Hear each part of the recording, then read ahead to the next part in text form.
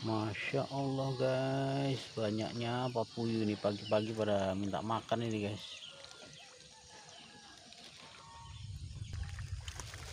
hmm.